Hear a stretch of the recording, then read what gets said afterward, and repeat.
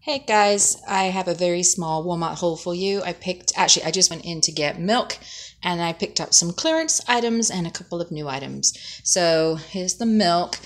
Now, they had a lot of sausage in the uh, markdown area. So I got the Sticky's Barbecue Pit Spicy Cheddar Sausage. It was marked down to $2.25. The Alfresco Sweet Apple Chicken Sausage was marked down to $2.50. And the Grill Mates Montreal Steak Smoked Sausage was marked down to $2. And then I also picked up this marked down sushi to $2.09. It does expire today, so we'll eat that later.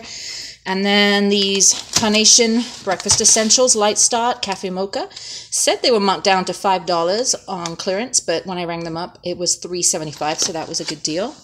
And then they had a lot of markdowns in the pasta sauce area, so I got this Prego no sugar added um, pasta sauce for $1.25. I got this Cellentani pasta from Barilla for a dollar, and this Prego lower sodium traditional was a dollar twenty-five.